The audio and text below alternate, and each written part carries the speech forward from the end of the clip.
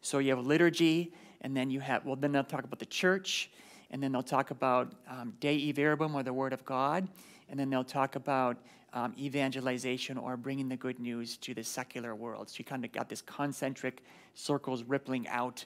Um, so there's a logic of why they tackled this issue uh, first. This is the only document that they had worked from the schema or the kind of, remember they uh, had all these kind of preparatory documents or these kind of rough drafts. So they didn't just sit at the table and stare at each other like, what do you want to talk about? I don't know, what do you want to talk about? Those are the worst meetings ever, right? You have to sort of have um, ante-preparatory um, work done before you go there, and then you have a draft, you have something to kind of look at and say, okay, let's start to pick apart this thing. What do we like? What do we don't like? What do we want to edit? So this is the one where they actually um, worked directly from that schema uh, uh, to begin this particular document. Okay, we talked a little bit about why tackle this first. Uh, the church uh, adoring and glorifying God comes before else, all else. If the church cannot celebrate the liturgy faithfully and reverently, then all other tasks will fall short. Uh, I remember in seminary we had one professor who was a very good man. We just we loved him to death. He always said to us, "Gentlemen, get the liturgy right. If you get the liturgy right with the sort of warm reverence that it deserves, and you do what the church asks you to do, and you pray like crazy, your parish will grow. If you mess with the liturgy and you start doing your own thing, well, you're being unfaithful to God. And so your church is going to begin to shrink. It's that simple. So you get the liturgy right, your church will grow. If you start to mess with the liturgy, your church is going to shrink. That was just drilled into our heads, right? And you come with the warmth, uh, come a sense of joy, and then you kind of gently correct things when they need to be corrected in a particular community. It sets the tone and the direction for the council. Um, one of the most famous quotes there is sometimes you hear like the Eucharist is the source and summit. And that's been pounded for the last 50 years, that it's the beginning and the end, or it's the bottom, so to speak, and the top of the mountain uh, of the church's life. No other action in the church can equal its efficacy. This public worship or public prayer of God or an adoration of God, there's no more powerful prayer in the church than the Mass. Uh, sometimes somebody say, well, so and so passed away, or, you know, I don't, um, I, I need help here. I say, have a Mass offered. I mean, the Mass is the most powerful prayer before God. So to have those Masses celebrated for loved ones, there's no more powerful prayer that can be said than the Mass, right? Because it's Jesus Himself that's being offered to the Father in the Eucharist under, under the appearance of bread and wine. Uh, and then, actually, in our um, tradition in the Archdiocese and in the church, if a priest dies, they send out a little note to all the priests that says, So and so, Father has passed away. Um, you are requested to celebrate three masses for him. So every single priest in the Archdiocese gets that email, and then we are either going to do it personally, our private mass, or uh, like what I do is I send it to Jerry, and I say, Jerry, Father so and so has passed away please put these on the calendar. So she'll add them to the calendar for us so that those three masses get celebrated for that particular priest. Does that make sense? In my case, I need a lot more than three. I need like 300 uh, just to move me an inch in purgatory. Uh, no other action of the church can equal efficacy, and by the same token, to the same degree uh, as well. Okay, Pat. So, um, why, again, same category, why tackle the liturgy first? uh, a marked separation, not, not everywhere, right, um, had developed in the celebration of the liturgy, which was seen as kind of the duty the priest sort of territory. That's his thing, right? His priest, you know, the old mass, so to speak, which was seen as the duty of the priest and the people's participation in the liturgy. It was not uncommon for some to pray their rosary or read religious books during the liturgy. Obviously, I'm not alive during this time. Can you tell me your own experience, if that's true or not true? right? So, like, he's doing his thing. I don't know what he's doing. I'm going to do my rosary here, read my little book, you know, and I'm just going to maybe read the bulletin. So, those are called para liturgical uh, devotions or extra liturgical devotions. They started to creep in. And is praying the rosary bad? No, obviously it's good. It's just timing, right? It's just when do you pray the rosary? When's it appropriate? It's like I, when I was a teacher, for, I had a fourth period class they would not be quiet. They were constantly talking all the time. And I said, everybody, talking is fantastic. We all love it. You just can't do it right now. right? So there's a time and a place for everything. So it wasn't the right place for praying the rosary is during the Mass, right? The church wants you to participate, not just um, actively by doing stuff, but um, consciously, prayerfully participating in the prayers of the church and with the priest and what the priest is, doing at, at, the altar in the celebration of the Mass. So there was kind of a, a marked separation that started to happen. Like this liturgy has no influence on my life, right? It doesn't have any impact. It's not transformative for me. So there was a disconnect that was starting uh, to happen. Not everywhere. You don't want to be like too like broad, but at certain you know pockets and stuff. Half century of liturgical scholarship, uh, scholarship reforms part of the council. There was a liturgical movement that was happening in the 20th century, um, and actually one of the major centers where it was happening was at St. John's University right? That was one of the epicenters of this liturgical movement uh, that was happening even before the council. So I'm going to talk uh, a little bit about this. So one of the things you're going to notice is um, these presentations. Um, so what happens is Brendan um, puts them together first. So he puts together the schema, so to speak, the draft draft, and then I take a look at it, and then I edit it, or I might add stuff. So um, he teaches the evening session. He's really strong with like developments and historical processes and how did this come about. That's I've noticed when I read his presentations, that's what he likes, right? He likes that kind of stuff. That's like nerdy, right? Stuff, right? And we, that's a lot of people like that stuff. I don't mind it. It's kind of fun. We had church history. I'm more like, what does the church teach, right? Give me the document in its final form of what it is. So it's, it's just a different way of you know learning. So you're going to see a little bit of historical processy here. That's mostly from Brendan, and then you're going to see a little bit like okay, what do we mean? What do we mean by that? You know, how, what do we? Uh, what, what can we learn from this? Does that make any sense? So we have a little bit of a hybrid here. So you can kind of guess. Oh, that looks like it's from Brendan. That looks like it's from Father Andre, type of thing.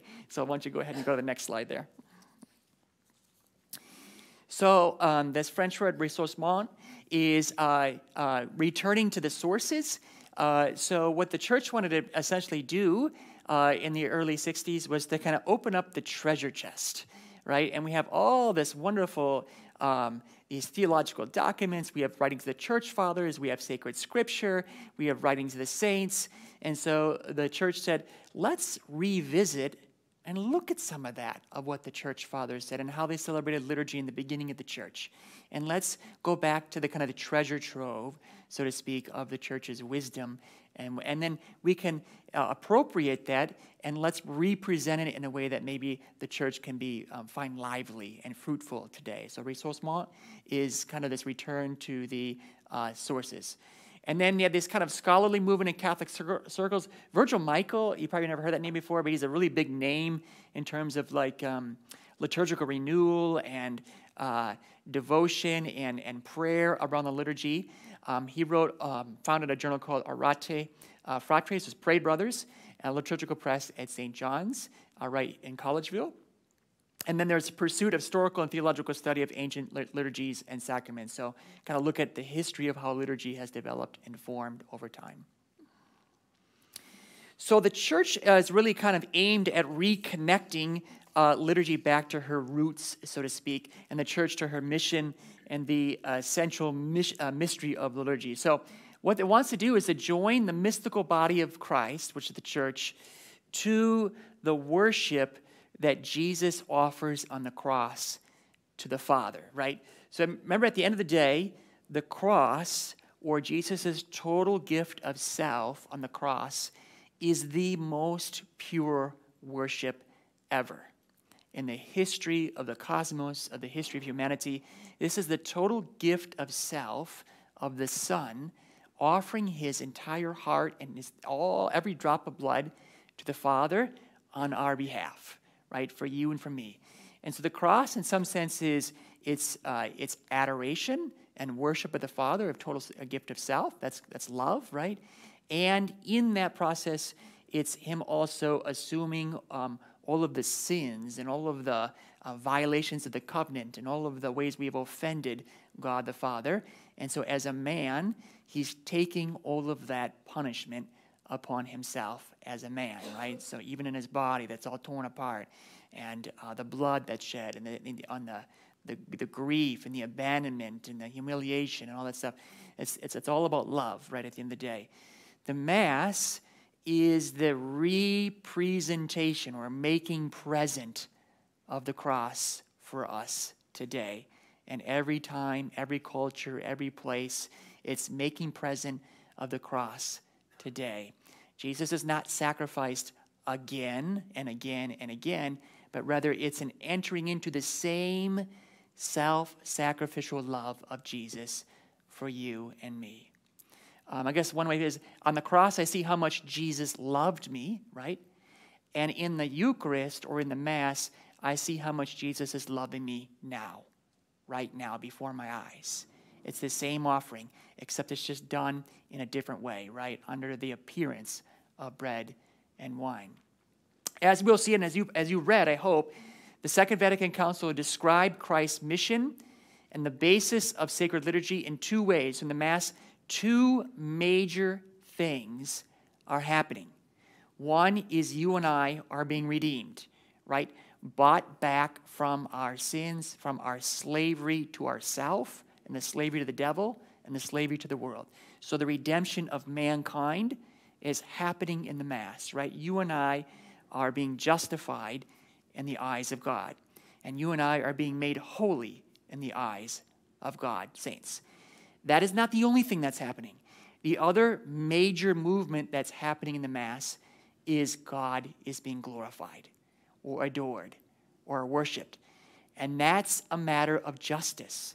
I just heard a talk the other day. Sometimes it's funny how, like, when you hear something and you maybe have heard it before, but for some reason it hits you in a new way. Like the first time you've ever heard it, you're like, I've heard that before, but why is it hitting deeper right now? It's actually going into my heart. And this, was Scott Hahn actually said, he said the highest form of justice, or the most fundamental form of justice, is giving God what is his due. And that's worship. What God is due. We are owed, we owe him that, right? He created us. He loves us. He holds us in being at every moment. He's the source of all being.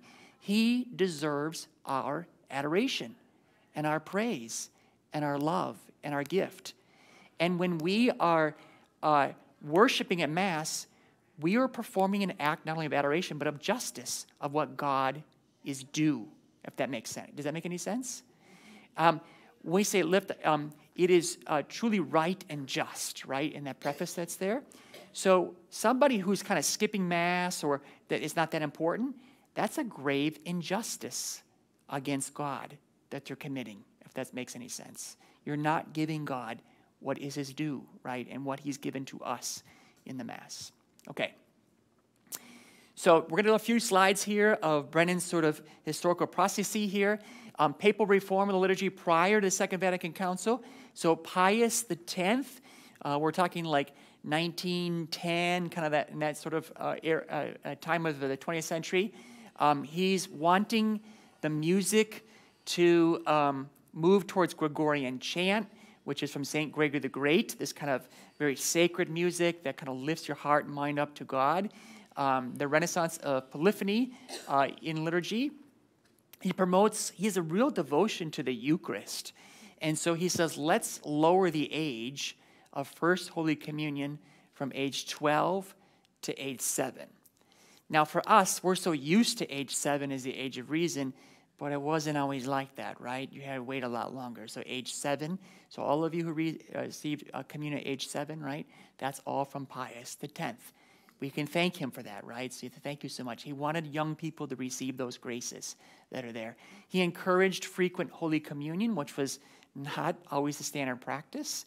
And in fact, when, I when you read like Story of a Soul with St. Therese, she was always just so happy when she could receive Holy Communion. And we're like, well, what, what are you talking about? You should receive Holy Communion all the time. That's because it's after her. Does that make sense? She's living before Pius X. So it's receiving Holy Communion is much more rare than it is now. And then he also begins to introduce this kind of active participation in the liturgy.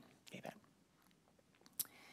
He goes on to say the primary and indispensable source of the true Christian spirit is participation in the most holy mysteries and the public official prayers of the church. The primary, the most uh, fundamental and indispensable, right, um, source of a Christian spirit. In other words, if you're going to be a disciple of Jesus, to make him known and loved, it is indispensable that you would uh, participate in the holy sacrifice of the Mass, right? Saints, it would be unthinkable for them to miss the Mass, right? That's the basics, that's the floor, right? You, you got to get the floor down first, the basis down, and then from that you build your house. So it's the foundation of our spiritual house. Look at that papal tiara, man. Oh, I want to get one of those things, to tell you that much right now. Uh, Pius XII, uh, he wrote an encyclical letter on the liturgy, uh, Mediator Dei, uh, the mediator of God, uh, which was a major um, factor, an influence factor for Sacrosanctum Concilium, or the um, Most Holy uh, Liturgy. He expanded use of the vernacular, especially in mission ter- territories and for rites other than the Mass. So you already start to see this movement towards um, one's local language, right? For us, obviously, uh, is English. He shortens the pre communion fast to three hours. What was it before that? 12. Whoa. That's why people are getting married at midnight, right? Like, oh, I can't even, I want to, like, yeah, 12 hour fast before. And now it's down to what? An hour. Gosh. And it's not even an hour before Mass starts, it's like an hour before communion. Basically, the church is saying, don't be eating cupcakes during the liturgy of the word, right? Take it easy. You can make, you can make it. It's okay. So uh, they're very lenient, right? It's very lenient right now. I do appreciate when uh, folks to come to confession, they say, look, I, I have to admit that I was sloppy and um, disrespected the Eucharist, and I didn't keep the fast, you know, for an hour. I mean, I should be able to do that. I appreciate your honesty in that, you know, I really do. So when people bring that, it's very honest. Uh, he reforms the rites of Holy Week and the Triduum. So, you know the Triduum that we have the Holy Thursday, Good Friday, Holy Saturday, and Easter Sunday, or the Vigil? That's all fairly new, right? It's 1955, the Easter Vigil. The Super Bowl liturgy, the two and a half hours or three hours that we have, I mean, it's not that old. In the church's mind, that is not that old. So 1950, that's the high point of the year, right? And some of you love that, and some of you are like, I wouldn't even probably dead at that thing. That's like three hours. That's way too long for me. Not in the way it does now. No, the liturgy of the, the light, uh, liturgy of the word, the um, catechumens coming into the church, and then the um, liturgy of the Eucharist. So he really kind of reformed all of that in 1955. Saturday was just Saturday morning. Just Saturday morning, exactly. This whole idea of like a Saturday evening mass and things like that is fairly new. Then we have good old Pope John the 23rd. He has that 1962 Roman Missal, uh, the final edition of the Mass established by Pope Pius V after the Council of Trent. Um, he makes a few changes too liturgically, so to kind of show some um, respect to our Jewish brothers and sisters. He removes the word faithless or unfaithful. I mean, he can't really say that entirely, right? That's not a broad category there. Um, and then um, he adds St. Joseph in the canon of the Mass. So the first Eucharistic prayer, as and St. Joseph, right, was there. And then um, we've actually just introduced that more recently into the other Eucharistic prayer, two, three, and four. So now you always hear, and St. Joseph, her spouse, right? But that was only in the Roman canon at first, right? The first Eucharistic prayer, the long one with all the saints that you pray for special liturgies. So we've added St. Joseph in there instead of just the Blessed Virgin Mary. And then um, he likely would have gone further, but with the coming of the council, like, why would you keep going? Like, let the council figure it out. Um, so he, he let the council take care of the rest. So again, Brendan here, this is his slide. Uh, liturgical fundamentals obscured.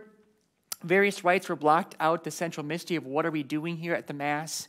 Um, paraliturgical or extra liturgy, devotions, uh, spiritual reading, the rosary, um, during happening during Mass. Saints memorials, they were starting to get, I mean, we love the saints, but they were starting to really kind of crowd out Sunday itself, the day of the resurrection. And then um, y'all remember, of course, the high Mass, low Mass type of thing. That's sort of terminology there. And then the sense of estrangement of life of faithful from the liturgy itself. The tendency of the faithful were just kind of following along versus not really praying with the liturgy or entering into the heart of the liturgy. Okay? So a high mass would be like a mass. Um, for those of you that live that, how would you explain that? Full vestments, music, candles, lots of incense, high mass, six candles, um, bell. Think bells and whistles. So, like when you buy like uh, lines of cars, you want the one with everything on it, the neon lights in the ground with the rims and everything like that, or do you want the just the basic? I got to pull the little lever up, you know, to get out of the car. Uh, type so low mass, so daily mass versus like an Easter Sunday mass, think that way. So you, even dress for the occasion, right? So the priest would pull out his best vestments for the high mass, and then singing. Yeah, every Sunday, of course. Yeah, yeah. Even even today, we still have that in some sense, right? So there are certain churches like the seven o'clock a.m. mass, very little music, right? Pretty straightforward. You kind of you're grumpy people. Don't don't move this and a dial on me, or I'll get mad. And then you have your kind of like a 10 o'clock, 11 o'clock a.m. mass, which is choir and brass and strings and things like that.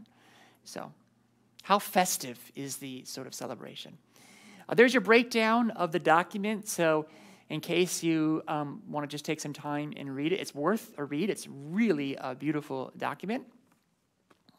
Go ahead, So, some goals to uh, strengthen the faith and the mission of the church. Uh, and you say, well, how does that work? So, the stronger your liturgy is, and the more you're entering into the liturgy, the more you're going to be inspired to bring the good news of Christ uh, to others and to draw them into the liturgy, uh, to adapt to the needs of the age, right? So, how many people know Latin today? I mean, not very many, right? So, it's kind of hard to kind of follow along.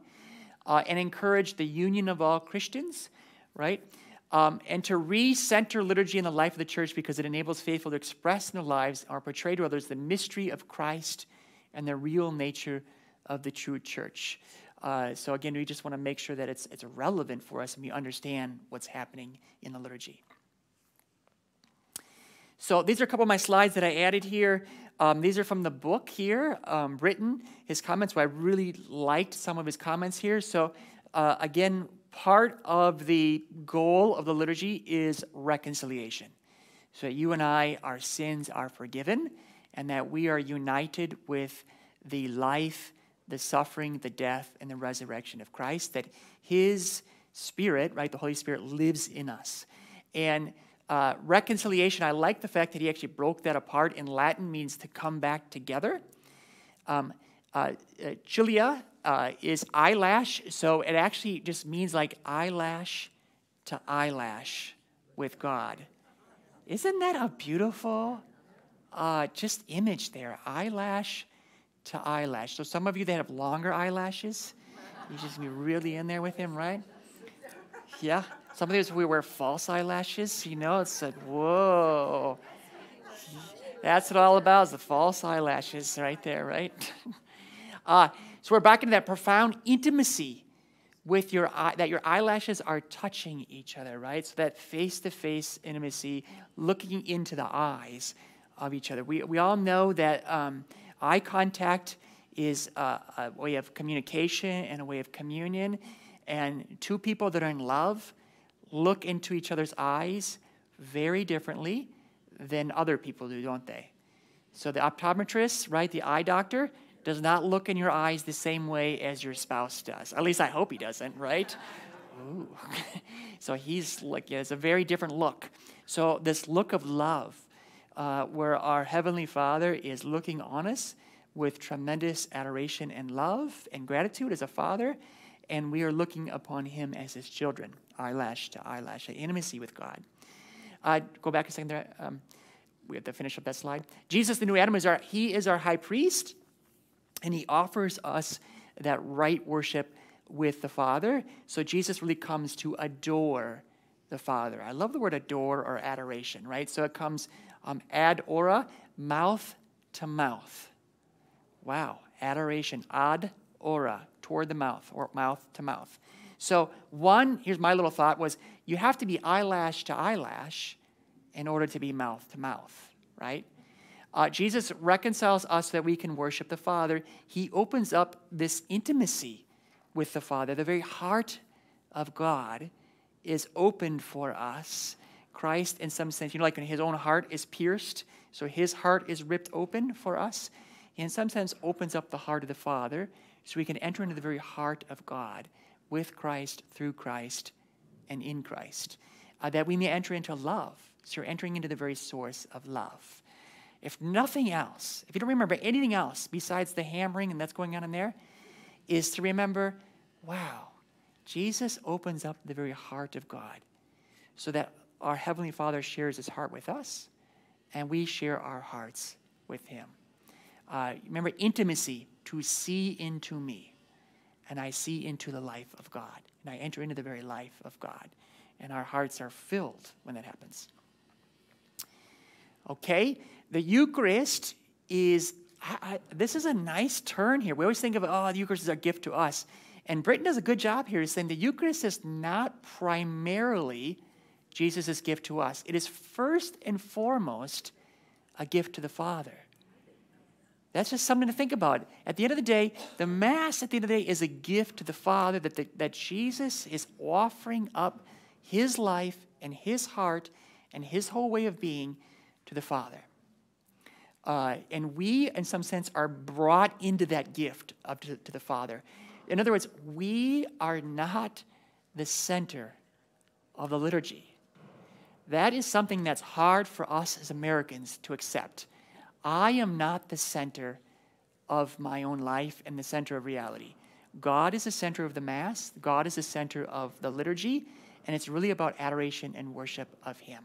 And the more I enter into that, the more I come alive, and the more I'm actually transformed, and the more, um, in some sense, my heart expands. Like, remember the Grinch had that little heart that got bigger and bigger and bigger and bigger, right? So it's like you, you, you your little heart comes, it gets bigger and bigger and bigger, and you become more uh, generous, and you forgive much quicker. Jesus is actively incorporating our lives into his worship of the Father at the Mass. In other words, we are not the origin of the liturgy, we are simply participants in it. So I think a lot of the pain and the creativity and all this stuff that happened for so many years could have been avoided had we recognized that fact. That at the end of the day, the liturgy is not about us, right? Um, now it has to be understandable. We have to be able to enter into it. The liturgy is ultimately about God, right? And about the worship of God the Father. And sure, the liturgy is not our thing. It's Christ's work that we participate in for our redemption and for our sanctification uh, as well. Okay? Oh, here's Brendan's slide, you know. Uh, so there's Grumpy Cat, where he says, Well, the park is my church, right? And I'm in charge of the liturgy. Very different mentality than Goldie, who says liturgy is Christ's work, who glorifies the Father in the Eucharist, and offering that we participate in. You see the difference between those two? Very, yeah, Goldie's far happier than Grumpy Cat, right? He's far happier than Grumpy Cat, and you see that contrast between those two mentalities, right? Those two things that are happening there. Yeah, exactly. So the liturgy is the work of Christ, his total self offering uh, to the Father. And here's something to think about it's the action of Christ, the head, and the action of Christ, his body, which is who? Us together, the whole Christ, head and body, that's participating or making this offering to the Father. So, in other words, uh, when the bread and the wine come up, right, the, and, and, the, and the cruets, right, and the, and the paten that comes up, it's a symbolic of this is what we have to offer to God, all of us. That's our offering. So we bring all of our week to, to that Sunday moment, and we say, here's our joys, here's our sufferings, here's our challenges, Here's um, our aches and our pains and our celebrations. We bring all of that symbolized the, by the bread and the wine that's offered, brought up to the altar. And so when the priest takes that and presents that to God the Father, It's not just Christ the head that's being presented, it's all the people and all of their unique challenges and blessings that they're going through at that particular moment. So when I'm holding up the Eucharist, I'm not just presenting Christ, I'm saying, Heavenly Father, I present Jesus to you under the appearance of bread and wine, but under, I also present all of the faithful who are here right now and the struggles and their aches and their desires and what they're going through. And I want that to be taken up as well in Christ, with Christ, and through Christ to you, that you will accept that and that you will transform it and it will be redeemed and it'll be brought into that offering. Does that make sense? So it's a very different way of looking at the Mass. Like when you start to understand it, you're like, wow, so I can bring my Monday there, I can bring my Tuesday, I can bring my Wednesday, my Thursday, my Friday. I can bring uh, the things embarrassed, embarrassed about to the Lord. I can bring, oh, I could have did better here. I can bring that happy moment that I had on Friday to Him. All of that gets brought, and, and, and as, the, as the host is being held up, there's this moment of adoration and petitions. You can, you can add your petitions in at that moment when Christ is being adored and when the Father is being adored in Christ. And you think about your week and you bring that to our Lord Jesus at that that's participation if that makes any sense. Very different than on Edna in the back who's reading over the bulletin right? She's reading over the bulletin. So what tells me Aunt Edna has not been either evangelized or catechized very well of what's happening in the Mass. Just, it's just need of conversion at the end of the day, right? I'll never forget Bishop Cozzens or then Father Cozzens. We had a, a class in the Eucharist, and somebody was complaining about, how come they don't pay attention more at Mass or whatever? Like, and he said, well, think about it this way. At the cross, where Jesus is offering himself to the Father, what was happening around the cross? You had all kinds of stuff happening around the cross, didn't you? Some were adoring and, and, and uh, offering their pains and their sufferings. The Blessed Virgin Mary, John, the beloved disciple, Mary Magdalene are there. They get it and they're loving with their whole heart. Who else is there? Some are playing games for his clothing. They don't get it at all. They are literally spiritually blind, right? Some are mocking him, right? You, you said you could, you know, destroy the temple in three days. Take yourself down from that cross, right? Some are just utterly confused. What is going on right now, right? what is going on right now? Like it's getting dark. You know, there's thundering. What the heck's going on right now? So they're confused. He said, if all that stuff is happening around the cross, shouldn't we expect all that stuff to happen around the Mass as well? And when he said that, I thought, a light bulb went off in my head. I said, bingo. You're going to see the same exact human uh, experiences and interaction and participation and lack thereof in the Mass because it happened around the cross.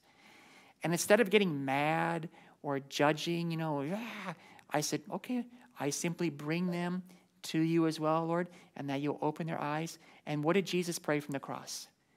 Father, forgive them. They know not what they do. So you have the heart of Christ. Instead of being all judgy, you can say, you know what? Father, forgive them. They know not what's happening here. And love them and help me to love them and help them to experience the love that you've given to me and that I experience in this Mass as a gift. Is a gift to me. Remember, faith is a gift, right? You didn't earn it, right? It's a gift. So if your eyes are open, you can thank God for that because He's giving you a tremendous, tremendous gift. Are you bringing the angels and the saints that we hear are present at the Mass? Are, are They're adoring too. They're all there because that's a great point here because what does that next point say? The earthly liturgy, or the Mass we celebrate here, is a foretaste of the heavenly liturgy toward which we journey as pilgrims, is what uh, Sacrosanctum Concilium. In other words, what we're doing here is already a participation, what they're doing for all eternity in heaven. They're adoring the Father with Christ through Christ and in Christ, all the saints who have been open to Jesus and loved him, all the angels, the Blessed Mother is there. And so we are all participating in that eternal offering that's happening all the time. It's like we're getting a, like when it says lift up your hearts, we lift them up to the Lord. In other words, kind of uh, the Latin is sursum corda, lift up your hearts. Um, you're being brought up into the heavenly liturgy at that moment. So, in other words, like the veil's being open in some sense, and you're getting a foretaste of what they're doing in heaven.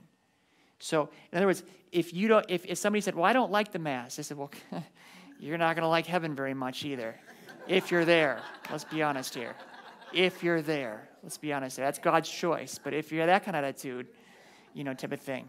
So get comfortable and love it because it's what you're going to be doing for all eternity, right? Uh, liturgy includes, when we say liturgy, it's not just the Mass, it's also the liturgy of the hours, which is those set prayers of the church that priests, religious, and lay faithful. Actually, more and more and more lay faithful are now praying the liturgy of the hours. I'm going to give a little plug here in just a moment. Uh, and then sacraments and sacramentals is all considered liturgy. But none of them have that efficacy as the Mass, right? They all sort of participate in the Mass. Okay. Uh, so you've heard that uh, there's all these different presences uh, in the Mass. So you have the presence preeminently in the Eucharist, right? So the preeminent mode of, uh, of Christ present. He's substantially present in that very essence of what the bread is changing the very essence of the body and blood of Jesus. He's present in the bishop when he's here, the priest, and the deacon. Remember that I, my um, life is a sacrament, right? So by the sacrament of ordination, the priest kind of makes Jesus present through his personality, uh, through the deacon as well. Um, the deacon makes Jesus present as a servant. Deacon as a he, he's kind of configured as Christ the servant. Sacred scripture uh, obviously, whenever God's word is proclaimed, it's God speaking to you today. Um, and then you have the lay faithful as well, all the baptized, because you have Jesus living in you. You're the very face of Jesus as well, right? In your uniqueness. So to see, um, um, what is that from Les Mis I'm thinking about right now? It's uh, to see the face of a person is to love God, or I got to think of that. At the, is to see the to love another person is to see the face of God, right? To love another person is to see the face of God. That is such a beautiful line, you know? It's at the very end of Mis. Um, the whole liturgy, right, is immersed in Jesus. Okay, back. So um, the liturgy is the summit or the end. It's like we're heading towards something, the very top of a mountain toward which the activity of the church is directed. It's also the font from which all its powers flow. So you think of like uh, a well, right? This kind of never ending well, very heart of God, um, from which all the powers and graces and love and forgiveness and mercy flow from the Eucharist or from the Mass.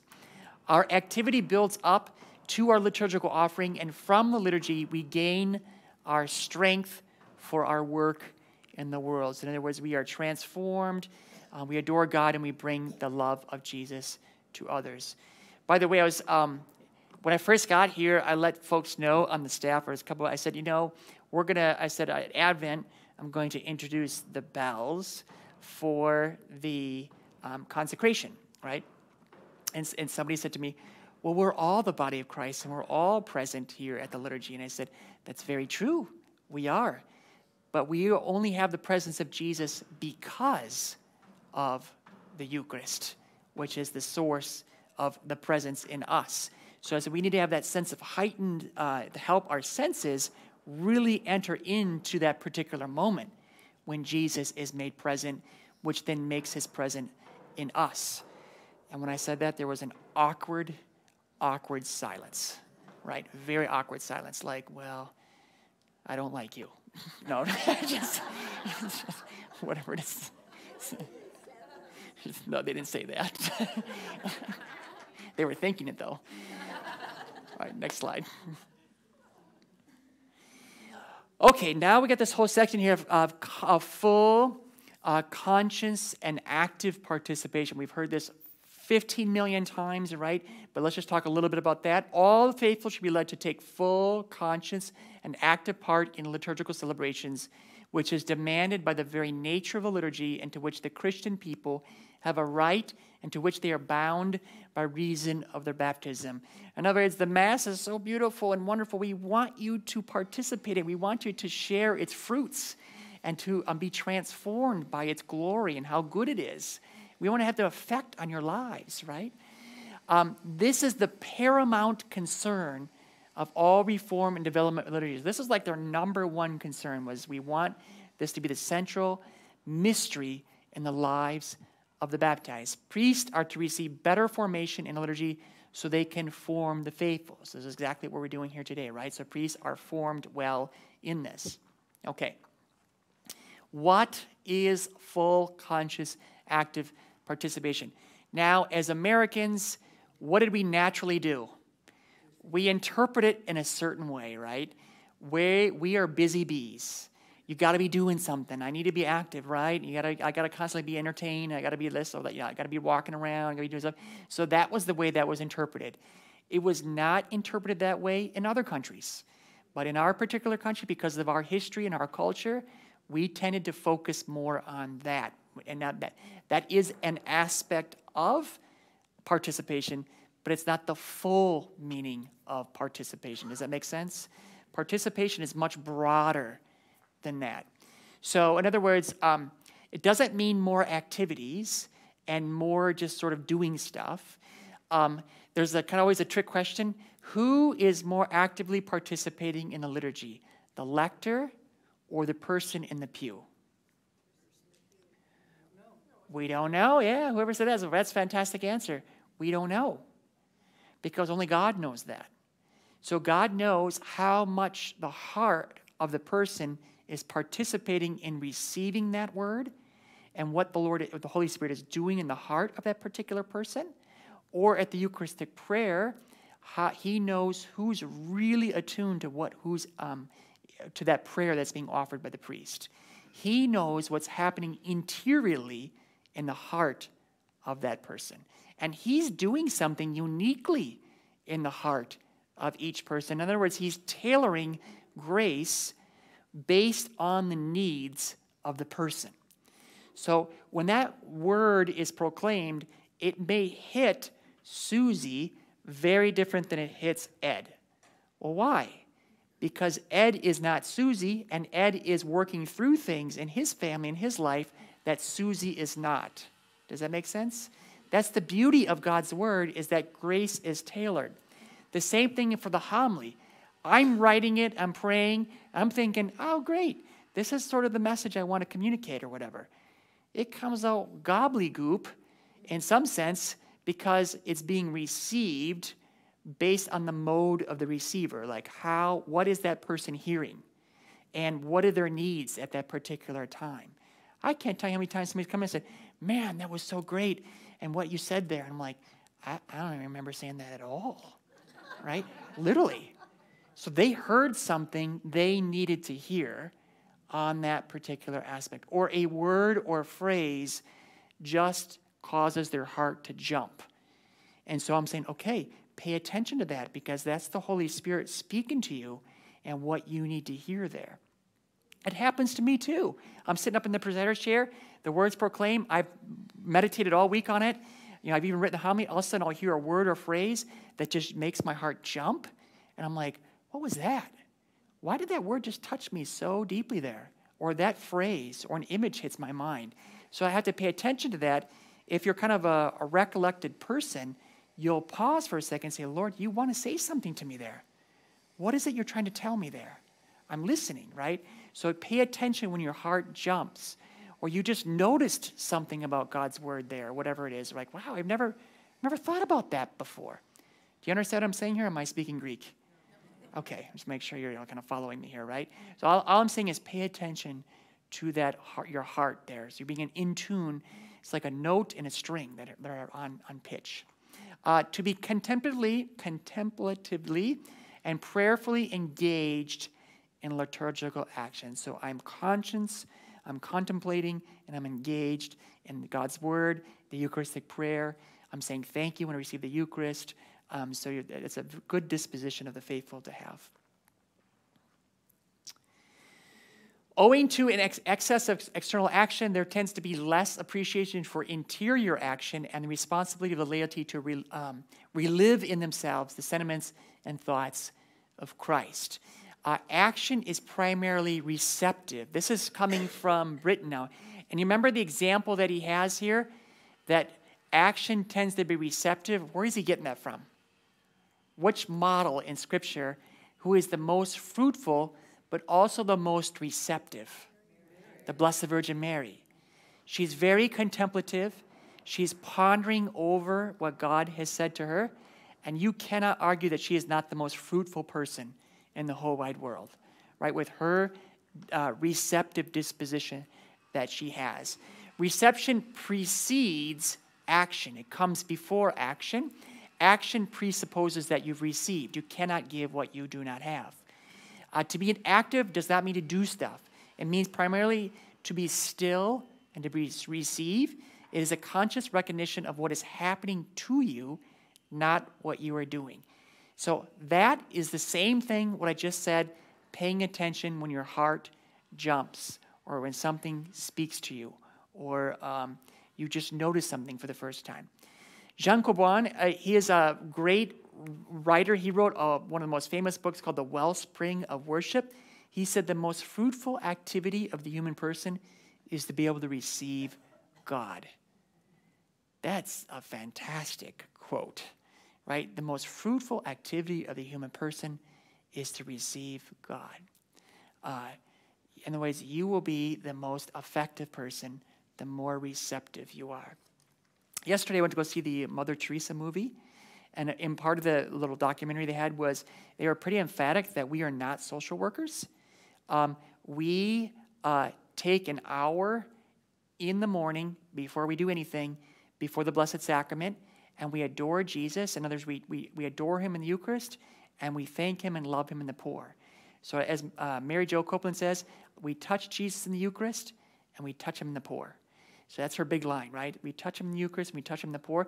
So, they have to receive first, and then they go out and they spend themselves in their love for the poor, and then they come back and they receive again. You can kind of see this dynamic movement of reception, gift, and then come back to be filled again reception and giving. So reception leads to giving, which then goes back to reception again. So you have this kind of beautiful flow. Does that make sense? Otherwise, you just end up empty. And it's all just self, um, hidden form of pride, it's a self reliance, it's all that kind of stuff. And that doesn't glorify God. That's just your own ego that's acting there. Before all else, active participation means to be contemplatively and prayerfully engage in the liturgical action of the Mass, the traditions and official prayers of the Church. The real action liturgy in which we are all supposed to participate is the action of what God is doing in liturgy. This is what is new and distinctive about Christian liturgy. God Himself acts and does what is essential. Are you aware of and receptive to of God's work in you at the Mass? Okay. Now, uh, some more reforms of SC. Uh, Sundays have primacy over saints' memorials. So, a good example of that would be last Sunday, this last Sunday, what normally would we have celebrated on October 2nd? The guardian angels, right? So, you can't be like, well, let's just celebrate guardian angels. Uh, so, if it lands on a Sunday, that means it's going to lose a year in some sense, unless it's a really important, then they'll move it over to a Monday. Uh, so this year, Guardian Angels got skipped, right? Because it happened to land on a Sunday. So, um, so Sunday, the day of the resurrection, always has precedence over saints' memorials because Jesus comes first. Rituals are to be simplified, reformed to show their inner nature and purpose, adapt to meet modern men and women. RCIA was restored right? So those wanting to come into the church. Um, this year we have 10 or 11, I think, or 12 folks looking at coming into the church. Wow. Thank you, Jesus, right? Great backgrounds, too. This is super, super great backgrounds they have. You already see the Holy Spirit working in their lives. Because I was there and they were each sharing their story of you know how God has been present to them and acting in their lives. And it's just beautiful to see how God has been working in their lives. Liturgy of the hours, especially Vespers, that's evening prayer. to be celebrated in common on Sundays and feasts, and other hours should return to the ancient standard. Okay, good. Oh, this was my plug here. So, Word on Fire, which is Bishop uh, Barron's, um, you know, his ministry there. Um, he introduced recently the liturgy of the hours, and he did it so that um, you get a booklet or a little book each month. And what's nice about it is that you don't have to flip back and forth because that's what people confuse. Like, where am I right now? I got tons of ribbons here. I'm confused. I'm not getting anything out of this. Until you get used to it, it's really frustrating. So he did it in a way that all you got to do is turn the page. That's it. So he's got seven bucks a month. Um, no page flipping that causes confusion. And I know a good number of faithful here at, already at uh, St. Therese have purchased that and love it. So you can pray in the morning, the morning prayer. It has daytime prayer, it's very short.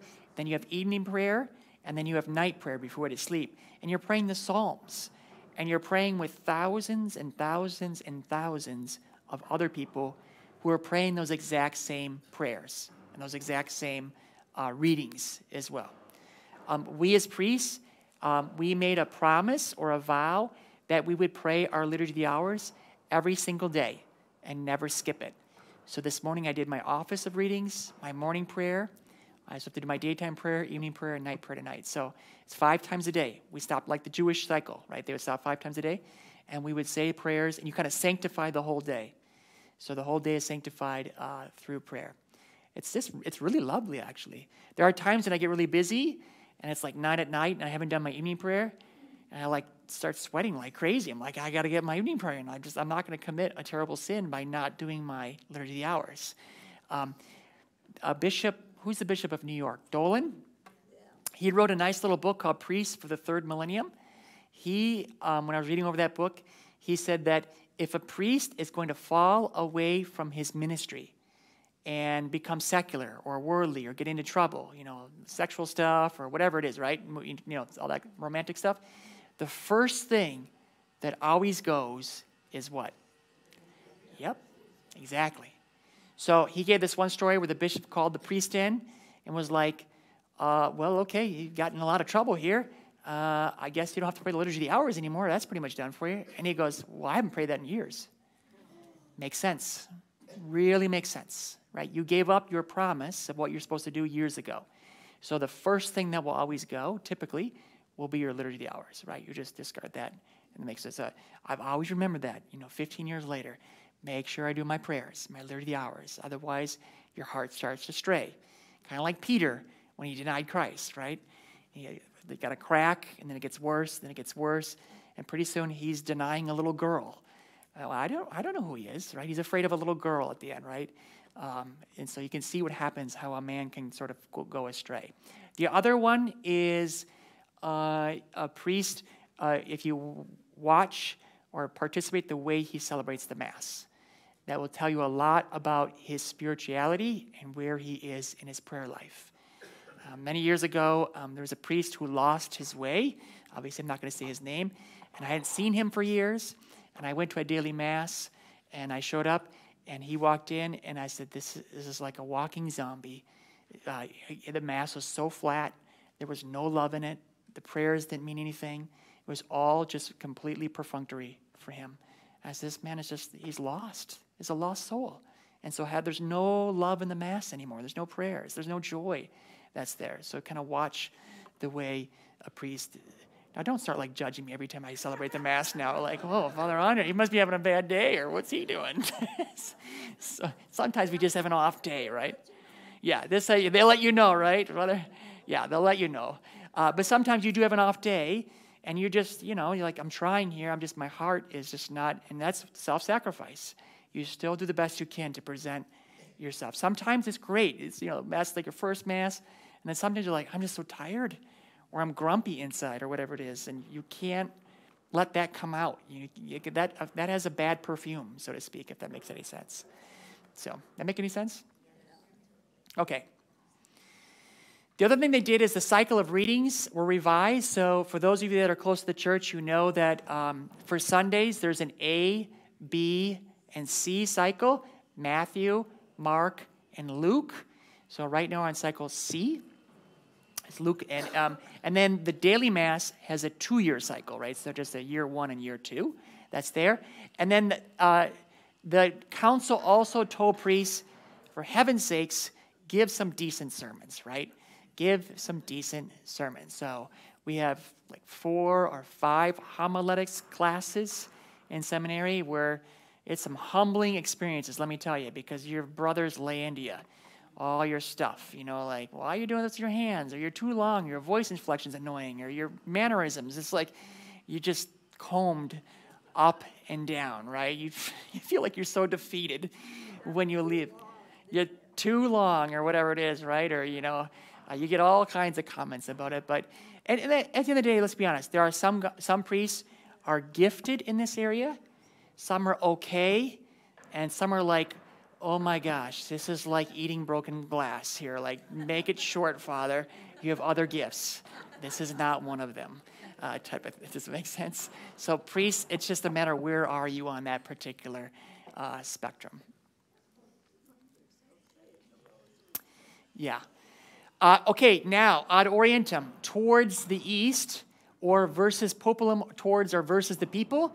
So, this is the whole thing here about which direction is the priest celebrating the Mass, right? Uh, Pope Paul VI, uh, first of all, this isn't even mentioned in the document, right? So this isn't even mentioned in Sacrosanctum. It's a little bit ironic. This has become one of the highest points of contention, which is not even mentioned in the document. So Paul VI had begun celebrating versus populum around Rome before uh, V2 concluded. The council's stress on full, conscious, active participation, the need for greater simplicity and coherence in rituals, royal priesthood of all the faithful, in other words, by virtue of baptism, we participate in Christ's priesthood, mixed with modern architectural preferences, they really all kind of tipped the scale, so to speak, towards versus populum. Next couple of slides, I'm going to prevent just arguments for both, if that makes any sense. So I know some people here have strong preferences for one versus other. I just want you to realize in the tradition of the church, there are strong reasons actually for both. Does that make any sense? So for somebody to say it's 100% this is the only reason, you're not looking at the full picture. So uh, let's take a look at some of the reasons for both. The theology of ad orientem, towards the east. So, in other words, sometimes you say the priest with the back to the people, but in reality, they're praying, the priest is praying towards the east, towards the Lord. We're all praying in the same direction. That's, that's the theology there. Uh, we're all faced towards Christ who comes from the east and will come again. So the traditional direction of liturgical prayer for Jews and Christians has always been toward the east. Know, where does that come from? Well, in the book of Genesis, which is the first book of the Bible, God planted the Garden of Eden in the east. Uh, the Temple of Jerusalem also faced east.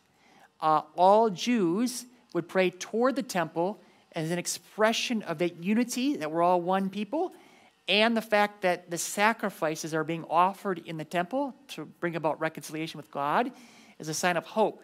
So the kind of this eastward kind of thrust towards uh, of prayer towards the east. Okay, next slide. Ezekiel, the prophet Ezekiel, he has this vision where the temple is going to be restored because it had been destroyed by the Babylonians, in which he sees God's glory coming from the east, where the temple facing the east flows with life giving water cascading eastward, right? So you know the um, Ezekiel 47, where from the facade of the temple, this water is coming out, this fresh water, and it gets deeper and deeper and deeper, right? The point you can only you have to swim across it. And it says that it makes everything fresh and it provides life for everything that's faced towards the east. Additionally, the sun rises from the east, so Christ will come again from the east. We are pilgrim people on the way facing the Lord. So the traditional direction of Catholic parishes has always been toward the east, right? They used to always build them towards the east. Yeah, the, fa- the priest and people were all facing one direction towards the east, right?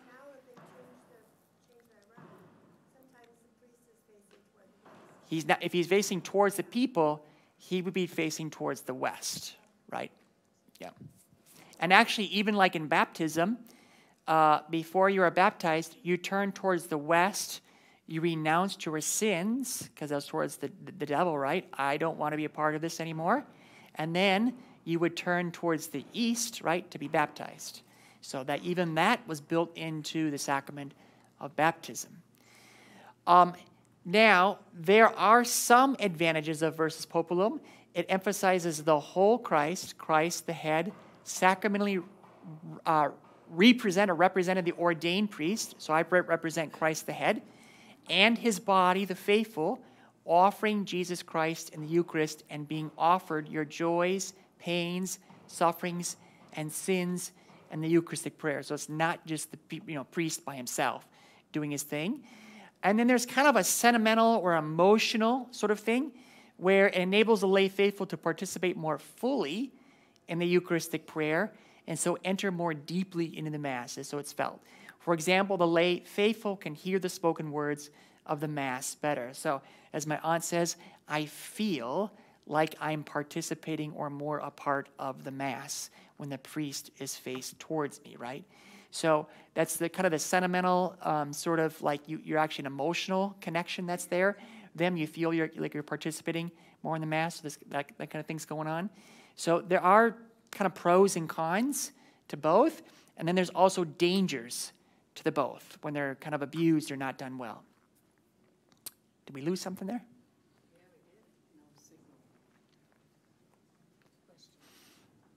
Oh, it's rebooting there. As, as that's rebooting, um, what uh, one of the drawbacks I think of the East is again you just don't feel like you're participating as much, right? So it kind of feels a bit more mystery hidden. What do you think one of the drawbacks of versus populum would be? If you had a guess towards the people.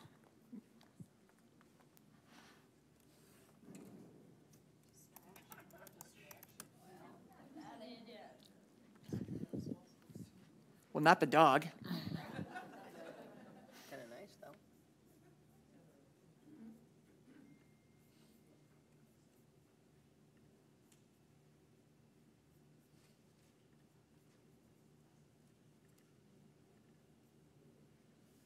My computer just rebooted by itself, so.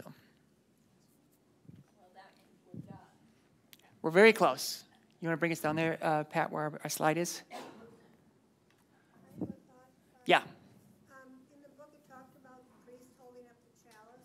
He was facing the east. He was, he was um, facing the east, so the congregation was behind him. And when he held up the chalice for the consecration, he could see the reflection of the people.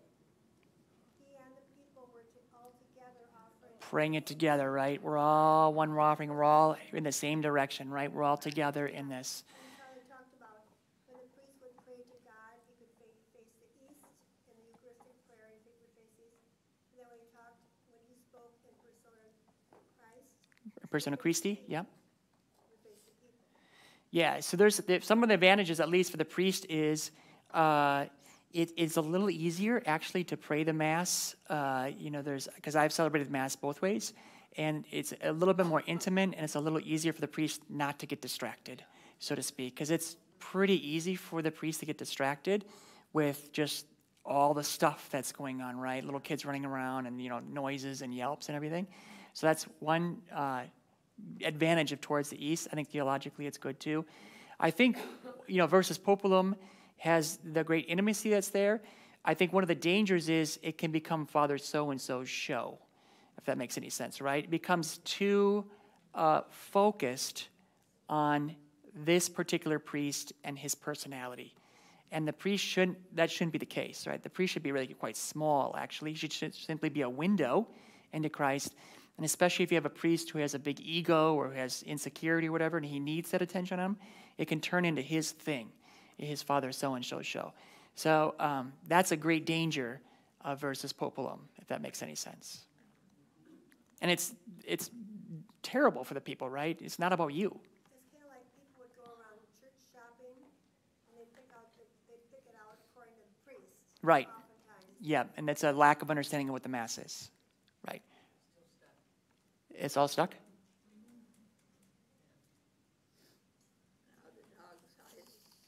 Well, let me just say, um, as we kind of conclude here, is um, so Pope uh, Benedict actually came up with kind of a solution to this, or kind of a compromise.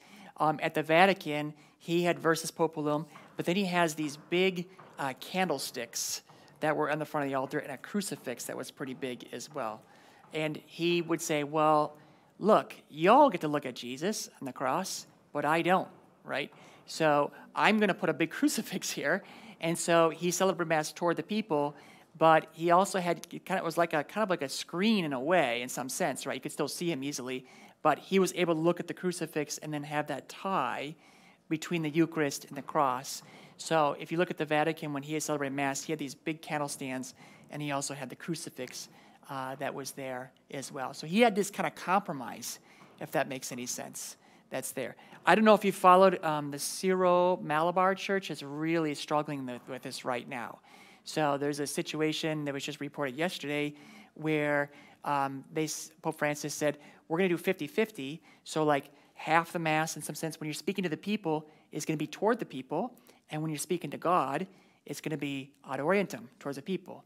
Well, this particular diocese uh, in India, which is an hour north of where the sisters live, um, they want versus populum the entire time. And so uh, the new bishop came in and said, no, we're going to have ad orientem for part and versus populum for some of it. And he wrote a letter to the faithful saying, this is what we're going to do. And the faithful then went out and took the letter and burned it, uh, and like out of anger, and said, "We don't want it, right?" And so I said to poor sister, I said, "Sister, I'm so sorry. What's happening there?" And she said, "Oh, please pray, pray, pray. You know, pray, pray, pray. It's it's so important to pray. They're being so disobedient to what the Holy Father wants there. So it's you know, we'll have, they're going to kind of figure that out, right? So." Um, that's just pride, right? That's just a sort of an arrogance that's there, you know. So they're, they're struggling in that particular diocese that's there. Oh, there we go. All right, we're almost done. Hang in there with me. Keep going, keep going. Oh, go back up to that brood screen. Or the, um, a little bit more. Right there. One, one down. See that altar there? That's a high mass, yep. But he's also got those big candlesticks that are there. You see that? Okay, let's go to the next one there. Um, Latin and vernacular.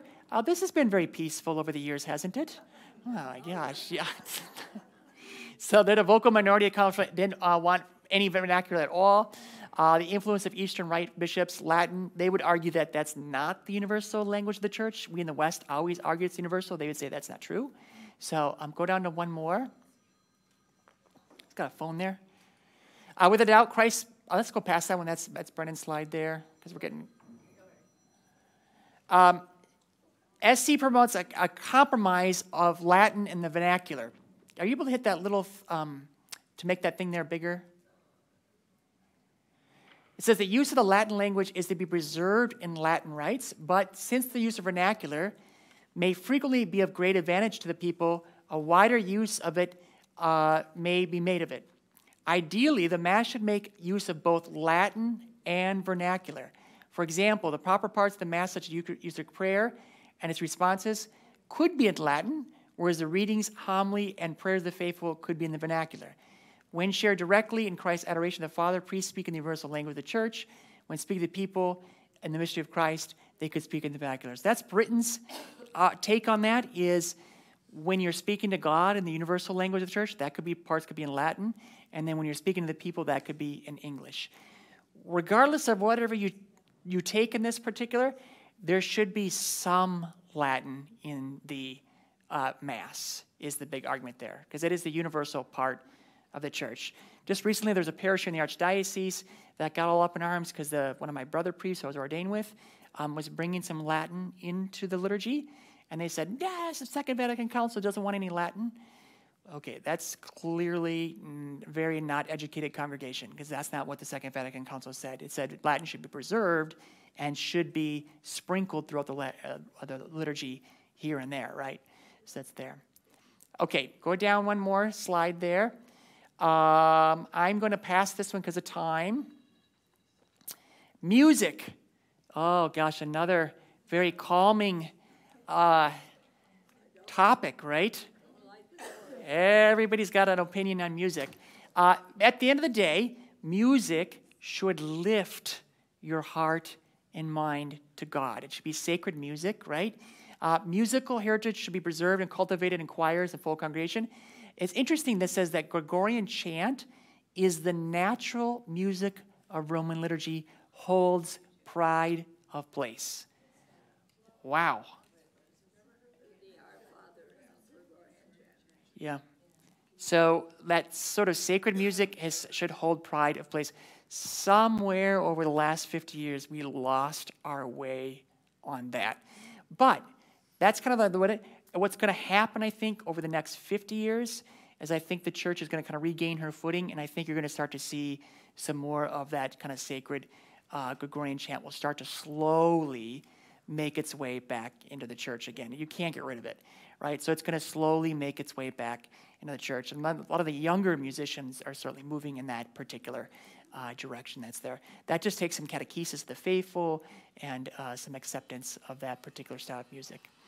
Okay, let's move on now to visual art and architecture. The purpose of sacred art, sacred music, and sacred buildings is to reveal the mysteries of faith. They are intended to foster contemplation of the divine mysteries, of the divine, uh, I got that in there twice, in continuity with art forms of tradition, so as to allow for a genuine encounter with Jesus Christ in the Holy Eucharist and other sacraments of the church. Uh, uh, Dostoevsky uh, said that beauty will save the world. In other words, our churches should be incarnational. Uh, we take the incarnation serious of Jesus Christ, and we can depict him in statues and vibrancy and colors and warmth. Uh, and so they shouldn't be stark, if that makes any sense. I was recently in a Lutheran church. It was sort of near here. And I, I thought, oh, I'm to check this out. Go up there and check and what it's like in the sanctuary. I walked in there. So cold, very cold. Like no color, no statues, nothing. I thought, oh, this would be a tough place to, to pray. No, nothing. Like I was like, this would be a tough place to pray. Uh, so there is a sense of warmth that's there. What's that? Yeah, you'll sing the heck out. You'll wear that hymnal out in about two weeks, though, at the Lutheran uh, Mighty Fortress is our God. So one of the things, obviously, we're doing, you can hear right now, a little irony, is we're warming up that sanctuary with some of that warmer stone, lifting up the altar three steps to heighten the beauty of the Eucharist. Um, starting to think about, you know, the crucifix, the big crucifix, maybe moving that over the center, over the altar to make Jesus the center of what we do there, bringing a statue of Mary and Joseph. So the whole idea here is we're trying to help people to pray, right? We're trying, like when you come in here, you say, well, this clearly is not Walmart. This is very different. This is very different than a, than a Target or a Walmart. This is a sacred place, and I'm actually invited to pray, right? I'm encouraged to pray that when I come in here. Stations, stations are, well, they're here. Uh, they're just boxed up because you got to protect them. This is my favorite church in the United States of America, the Cathedral of St. John the Baptist in Savannah. Uh, you could see the well, one picture there on the outside. Uh, this is from 1873. It's a Gothic style church. Uh, the inside of that church, when you walk in, it's like, oh my goodness, look at this thing. Even Protestants, you know, Catholics are only about less than 10% uh, in Georgia, but it, there's tons and tons of people coming through there and praying, Protestants, uh, because why? They're attracted to beauty beauty is a, it's non-discriminatory. It's just it's you know it's a sense that we're all drawn to beauty, and it, it wants you to pray. It's it's and it, your heart lifts up to the ceiling, right, to God when you go in there. So it, just draws you to prayer uh, right away. All right, I think we are there. That's uh, I'm not going to say too much about that. Let's go to the last slide there. So our next meeting is going to be October 18th, and we're going to talk about Lumen Gentium which is the light of the nations. It's the nature of the church. And um, lovely document. Do you have any questions? Uh, yes, Jim.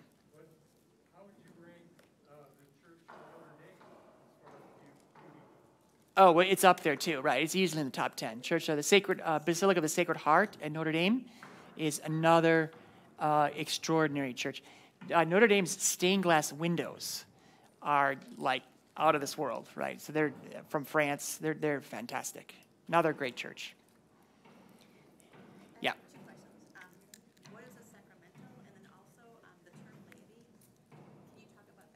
Sure. Questions are what is a sacramental? Do you have some examples of sacramentals? Uh, it can be a gesture.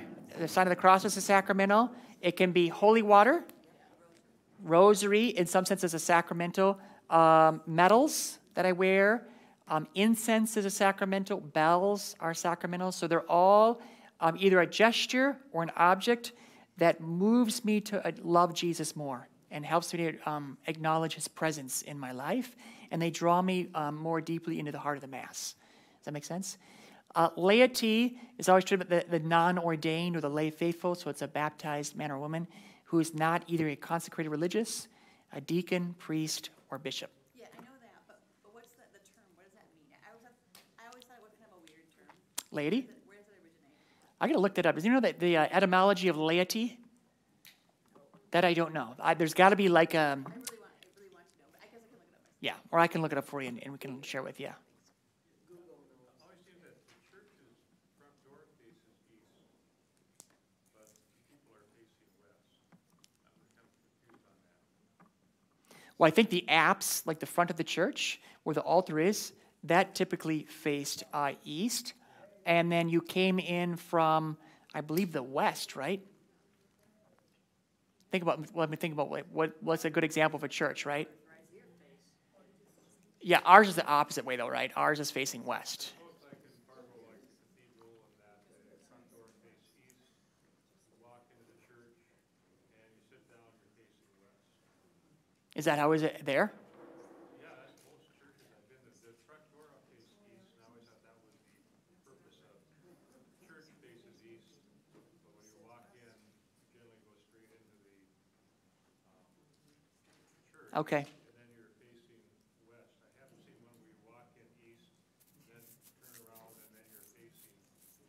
Oh, that's true. That's a good point there.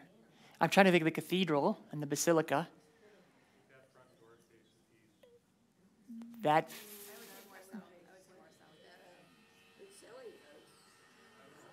basilica. Which direction is basilica facing? South. Cathedral. That's facing east, though, isn't it? Yes, that's facing that. The altar's facing east, and you come in. Yeah, the people are facing east. That's cruciform shape. The, the cathedral's a cruciform shape. You know, the, the cross. Let me think about that. Look at that. Yeah.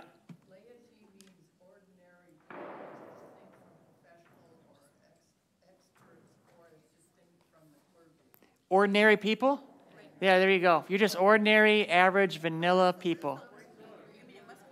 Yeah, it's got to have an, it's got to have an etymology. It's ordin, right? Yeah, probably from the Latin, I would think. Legos? Oh, of the people. Is it L E G O S? Oh, Lakos. Okay. Of the people or pertains to the people, probably. Yeah, the ordinary people got to go home, right? The Father, Son, and the Holy Spirit. Pray for your special blessing, Lord Jesus, upon the lay faithful. We thank you for their baptism and all they do for your church.